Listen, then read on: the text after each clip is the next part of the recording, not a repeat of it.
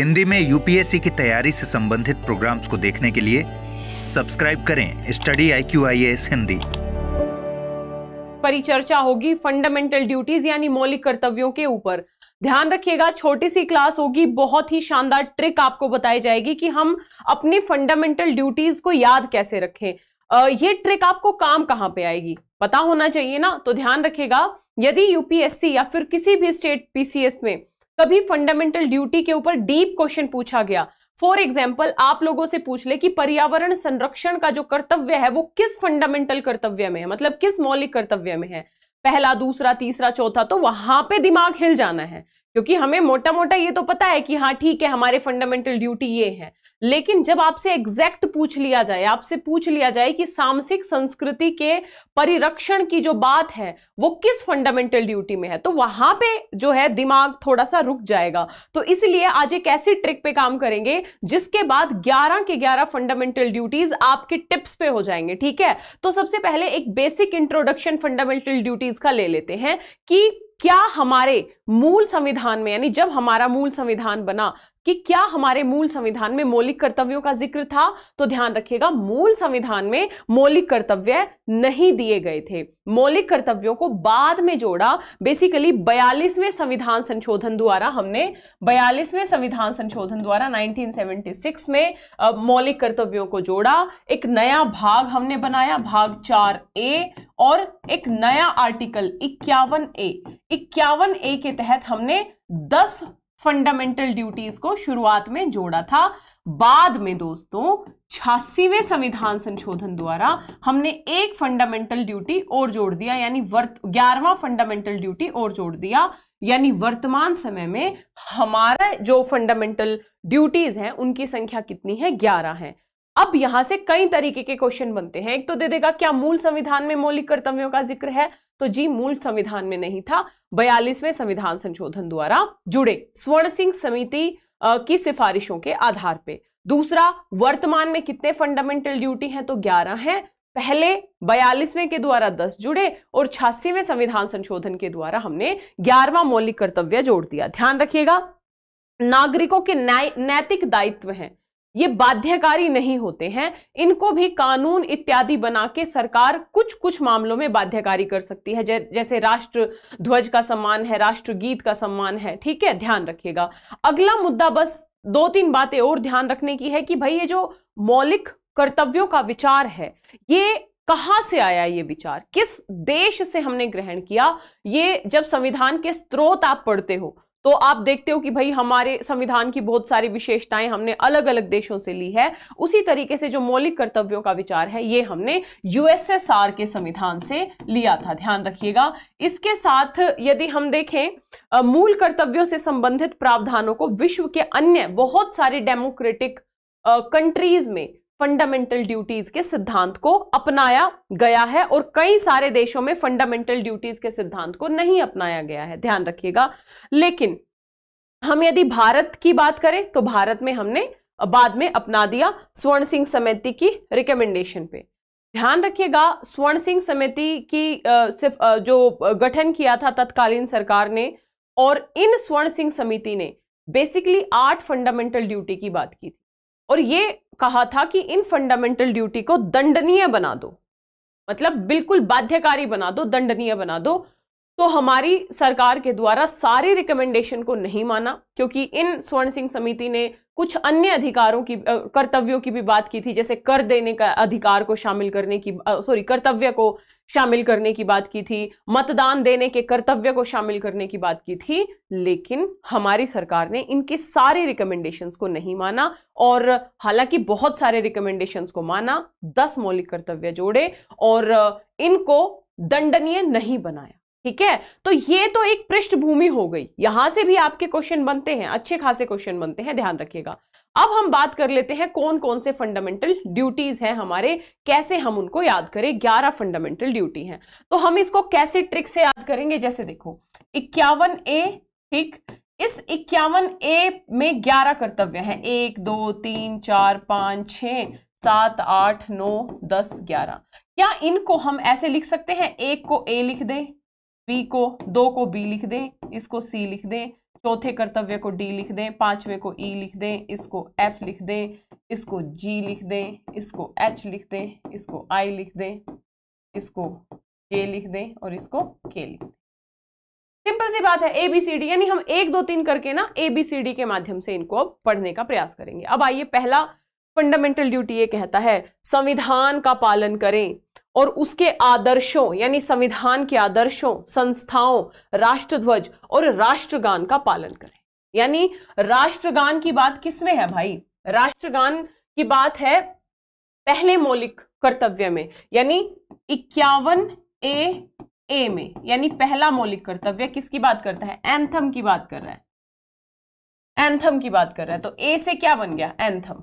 ठीक है? तो पहला मौलिक कर्तव्य बात करता है संविधान का पालन करे, उसके आदर्शों उसकी संस्थाओं, राष्ट्रध्वज और राष्ट्रगान का सम्मान करे। ठीक है? तो ए, पहला मौलिक कर्तव्य दूसरा मौलिक कर्तव्य क्या कहता है? स्वतंत्रता के लिए हमारे राष्ट्रीय आंदोलन को, हमारे राष्ट्रीय आंदोलन को प्रेरित करने वाले उच्च आदर्शों को हृदय में सजोए रखे और उसका पालन करें। अब आप बताइए, राष्ट्रीय आंदोलन, यदि थोड़ा बहुत इतिहास आपने पढ़ा हो तो राष्ट्रीय आंदोलन में सबसे ज़्यादा महत्वपूर्ण भूमिका किसकी? बापू की। और जो दूसरे मतलब जिनको बापू की विचारधारा से ज़्यादा लगाव नहीं है, वो भगत सिंह की विचारधारा में विश्वास रखते हैं। आप किसी भी लिंक से याद कर सकते हो बी फोर बापू और बी फोर भगत सिंह। यानी दूसरा मौलिक कर्तव्य क्या आप कहता है? राष्ट्रीय आंदोलन को प्रेरित करने वाले जो आदर्श थे, उनको हृदय में सजोए रखने की बात करता है फिफ्टी वन ए बी यानी दूसरा फंडामेंटल ड्यूटी याद रहेगा इस ट्रिक से? ठीक है। तीसरी ट्रिक है मतलब तीसरा फंडामेंटल ड्यूटी है, भारत की संप्रभुता, एकता, अखंडता की रक्षा करें और उसे अक्षुण बनाए रखें। रक्षा करने की बात सी में भी है और डी में भी है, लेकिन डिफरेंस क्या है? जहाँ संप्रभुता की बात है, एकता, अखंडता की बात है तो संप्रभुता वैसे तो इंग्लिश में सोवरेनिटी होता है ये एस से शुरू होता है, लेकिन आप लिंक लगाना है ना, हमको तो ट्रिक याद करनी है तो सी से संप्रभुता मतलब कहने में संप्रभुता, है ना? संप्रभुता की बात किसमें है? यानी 51 ए सी में, यानी तीसरे फंडामेंटल ड्यूटी में बात है, भारत की संप्रभुता, एकता, अखंडता की रक्षा की। तो तीसरा फंडामेंटल ड्यूटी है ये। फोर्थ फंडामेंटल ड्यूटी है, यहाँ पे सीधा है, देश की रक्षा करें और आह्वान किए जाने पर राष्ट्र की सेवा करें। तो देश की रक्षा करें मतलब क्या? डिफेंस मतलब क्या? डिफेंस यानी 51 ए डी यानी फोर्थ फंडामेंटल ड्यूटी हो जाएगा डिफेंस का। यानी किसकी बात हो रही है? देश की रक्षा करने की बात हो रही है, ठीक है? अब आते हैं पाँचवें फंडामेंटल ड्यूटी पे। भारत के सभी लोगों में समरसता, समान भ्रातृत्व की भावना का निर्माण करें। धर्म, भाषा, प्रदेश या वर्ग पर आधारित जो भेदभाव है, उनसे परे हो। ये ये जो हमारी भावना है और उन सभी प्रथाओं का त्याग करें जो महिलाओं के सम्मान के विरुद्ध हो। यानी ई होना चाहिए। ई से आप इक्वेलिटी यानी समान भ्रातृत्व की भावना, समरसता तो आप 51 ए ई यानी 51 ए पांचवा फंडामेंटल ड्यूटी किसकी बात कर रहा है? समरसता और समान भ्रातृत्व की बात कर रहा है। ऐसी प्रथाओं के खत्म होने की बात कर रहा है जो महिलाओं के कल्याण के विरुद्ध है, ठीक है? तो सम्मान के विरुद्ध है। तो 51 ए ई समरसता, समान भ्रातृत्व। तो पाँच फंडामेंटल ड्यूटी याद हुए। ध्यान रखिएगा, ए क्या था? एंथम की बात है। बी क्या था? राष्ट्रीय आंदोलन की बात है। बापू के राष्ट्रीय आंदोलन की। सी क्या है? संप्रभुता की रक्षा। डी क्या है? देश की डिफेंस, देश की रक्षा, ई e क्या है? समरसता और समान भ्रातृत्व। अब हम बात करते हैं छठे फंडामेंटल ड्यूटी की। छठा फंडामेंटल ड्यूटी कहता है, हमारी सामसिक संस्कृति की गौरवशाली परंपरा का महत्व समझे और उसका रक्षण करे, परिरक्षण करे। सामसिक संस्कृति को इंग्लिश में बोलते हैं कंपोजिट कल्चर ध्यान रखिएगा कंपोजिट कल्चर लेकिन हमें लिंक याद करना है।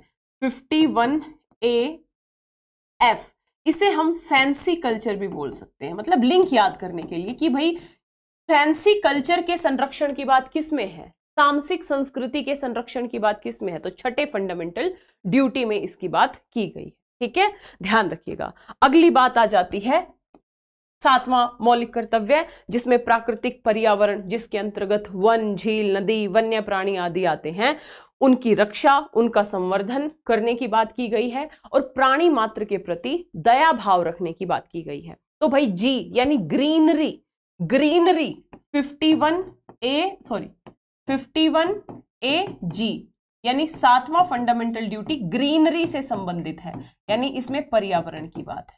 सिंपल सा लॉजिक है, ठीक है जी। हमें सात तक याद हो गए, अब हम आते हैं आठवें पे। आठवां कह रहा है, वैज्ञानिक दृष्टिकोण, मानववाद, ज्ञानार्जन तथा सुधार की भावना का विकास करे। यानी हमें बात करनी है 51 ए, एच की। एच ह्यूमैनिटी से याद रखिएगा, मानववाद, ह्यूमैनिज्म, ठीक है, ह्यूमैनिटी। की बात किसमें है? मानववाद की बात। आपसे अगर यही लाइन दे दे कि वैज्ञानिक दृष्टिकोण मानववाद और ज्ञान अर्जन तथा सुधार की भावना का विकास करे, ये कौन सा फंडामेंटल ड्यूटी है? तो ये कौन सा फंडामेंटल ड्यूटी है? साफ़ तौर पे हमें नज़र आ रहा है कि ये सातवां फंडामेंटल ड्यूटी है। ध्यान रख सॉरी ये छठा हो गया, सातवां हो गया, ये आठवां। यानी आप कैसे इसको कैलकुलेट करोगे? A B C D E F G H यानी एच कौन सा फंडामेंटल ड्यूटी है? तो आठवां मौलिक कर्तव्य है ह्यूमैनिटी यानी मानववाद। ठीक है जी। उसके बाद आ जाता है आई यानी नोवा। सार्वजनिक संपत्ति को सुरक्षित रखें और हिंसा से दूर रहें। तो आई यानी 51 ए आई मतलब इनकम की बात हो रही है। संपत्ति से लगा लो ना इनकम की बात हो रही है। तो सार्वजनिक संपत्ति के संरक्षण की बात किसमें है? 51 ए आई में है, यानी नोवा फंडामेंटल ड्यूटी है। ठीक है? अब है दसवां फंडामेंटल फंडामेंटल ड्यूटी आई के बाद क्या आता है? जे यानी दसवां क्या कहा गया है? व्यक्तिगत और सामूहिक गतिविधियों के सभी क्षेत्रों में उत्कर्ष की ओर बढ़ने का सतत प्रयास करें, जिससे राष्ट्र निरंतर बढ़ते हुए प्रयत्न और उपलब्धियों की नई ऊंचाइयों को छू ले। यानी व्यक्तिगत और सामूहिक गतिविधियों के आधार पर ही हमें विकास करना है। तो सामूहिक गतिविधियाँ जैसे जॉइंट जो भी जॉइंट वेंचर हैं, जो भी जॉइंट वर्क हैं, यानी 51 ए जे ये कौन सा दसवां मौलिक कर्तव्य हो गया? और ग्यारहवा मौलिक कर्तव्य हो गया, छह से चौदह वर्ष तक के उम्र के जो बच्चे हैं, प्रत्येक अभिभा, प्रत्येक माता पिता और प्रत्येक अभिभावक का कर्तव्य होगा उनकी शिक्षा प्रदान करने का। तो जो 51 ए के यानी के से आप कर्तव्य से ही याद रखिएगा। कर्तव्य है भाई, किसका? माता पिता का कर्तव्य है, अभिभावकों का कर्तव्य है। तो ये ग्यारहवा फंडामेंटल ड्यूटी हो गया। तो इस तरीके से आपके ग्यारह के ग्यारह फंडामेंटल ड्यूटी बिल्कुल आसानी से याद हो जाएँगे। यदि एक दो बार प्रैक्टिस कर लोगे तो कभी भूलोगे नहीं इनको। ध्यान रखना, शुरू से देख लेते हैं। एंथम यानी पहला कर्तव्य है बापू यानी राष्ट्रीय आंदोलन दूसरा कर्तव्य है संप्रभुता सी यानी तीसरा कर्तव्य है देश की रक्षा डिफेंस यानी चौथा कर्तव्य है उसके बाद डिफेंस के बाद आ जाता है डी के बाद क्या आ जाता है ई e, यानी इक्वेलिटी की बात जहाँ पे है वो क्या हो गया पांचवा फंडामेंटल ड्यूटी हो गया। जहाँ पे सामसिक संस्कृति फैंसी कल्चर की बात है तो छठा फंडामेंटल ड्यूटी हो गया एफ़ से याद रखना है। जहाँ पे बेसिकली पर्यावरण की बात है ग्रीनरी जी की बात है तो सातवां फंडामेंटल ड्यूटी हो गया। ह्यूमैनिटी की बात आ जाएगी, आठवां फंडामेंटल ड्यूटी हो जाएगा। सार्वजनिक संपत्ति आई इनकम की बात होगी वो ये हो जाएगा, क्या नाम है 51 ए आई हो जाएगा। उसके बाद जे जहाँ पे भी जॉइंट गतिविधियाँ हैं तो 51 ए जे यानी दसवां फंडामेंटल ड्यूटी और लास्ट में आपका कर्तव्य है माता पिता का तो ये आपका ग्यारहवा फंडामेंटल ड्यूटी इस तरीके से आप सारे के सारे फंडामेंटल ड्यूटीज़ को एग्ज़ाम हॉल में रिकॉल कर पाएँगे, ठीक है? कुछ कुछ किसी किसी की ऐसी ट्रिक्स होती हैं जो हमें पढ़ लेनी चाहिए, याद कर लेनी चाहिए, क्योंकि कई बार ऐसा क्वेश्चन आ जाता है कि हम एग्ज़ाम हॉल में अच्छे से रिकॉल नहीं कर पाते, लेकिन यदि कुछ कुछ ट्रिक्स हमारे पास हो, और ये ऐसी ट्रिक है, इसमें अलग अलग गुना भाग करके कुछ ऐसा ट्रिक नहीं बनाया गया है, बिल्कुल वर्ड से निकली हुई ट्रिक्स है जो बहुत आसानी से आपको याद रहेंगी, ध्यान रखिएगा। इसके साथ ही, दोस्तों, मैं आपको बता दूँ, ग्यारह सेप्टेम्बर से नया पी बैच शुरू हो रहा है स्टडी आई हिंदी पे पी प्रिलिम्स मेंस इंटरव्यू तीनों लेवल की प्रिपरेशन इस बैच में कराई जाएगी। तेरह से चौदह महीने में कंप्लीट सिलेबस इसके साथ ही ध्यान रखिएगा जो भी आपका डेली आंसर राइटिंग है वीकली टेस्ट सीरीज़ है, दो साल तक आप लाइव क्लासेस कित मतलब दो साल तक आप कितनी भी बार क्लासेस देख सकते हो, सुन सकते हो। ये पूरा बैच लाइव चलेगा। आपके डाउट सेशन इसमें लिए जाते हैं। यदि आप एक व्यवस्थित तरीके से, डेडिकेटेड तरीके से तेरह से चौदह महीने में पूरा सिलेबस कंप्लीट करना चाहते हैं तो निश्चित तौर पर इस बैच से जुड़े। यदि आप इस बैच से जुड़ना चाहते हैं तो कोड यूज़ करना है L D live. L D L I V E L D live code के साथ ये कंप्लीट बैच आपको मात्र उनतीस हज़ार नौ सौ निन्यानवे में मिल जाएगा। ध्यान रखिएगा, पीडीएफ के लिए आपको जाना है Lalita Dahiya academy Telegram channel पे। मेरी सारी क्लासेस के लिंक, टाइमिंग, नोटिफिकेशन, पीडीएफ यही मिलेंगी। ललिता दहिया अकेडमी ठीक है? यहाँ पे ललिता दहिया अकेडमी है। मतलब सेम नाम से है। टेलीग्राम और फेसबुक पेज पे भी आप मुझसे जुड़ सकते हैं। अगर एडमिशन लेना है तो एल डी लाइव कोड का या एल डी लाइव कोड याद रखिएगा। डिस्क्रिप्शन बॉक्स में लिंक दिया है, वहाँ जाके आप एडमिशन ले सकते हैं। आशा करती हूँ आपको ये ट्रिक अच्छी लगी होगी, समझ में आया होगा, याद हुआ होगा। दो तीन बार रिवाइज कर लोगे तो बिल्कुल याद हो जाएगा। अगर आपको क्लास अच्छी लगी है तो क्लास को लाइक ज़रूर करें। जितना ज़्यादा शेयर कर सकते हैं, उतना ज़्यादा शेयर करें। चैनल पे यदि नए हैं तो सब्सक्राइब करें और कमेंट ज़रूर करें। आपके कमेंट बहुत मोटिवेट करते हैं और ज़्यादा मेहनत करने के लिए आप लोगों के लिए। बाकी पढ़ते रहिए, स्वस्थ रहिए, मस्त रहिए। जय हिंद, जय Bharat. All the best Hindi में यूपीएससी की तैयारी से संबंधित प्रोग्राम्स को देखने के लिए सब्सक्राइब करें। Study IQ IAS Hindi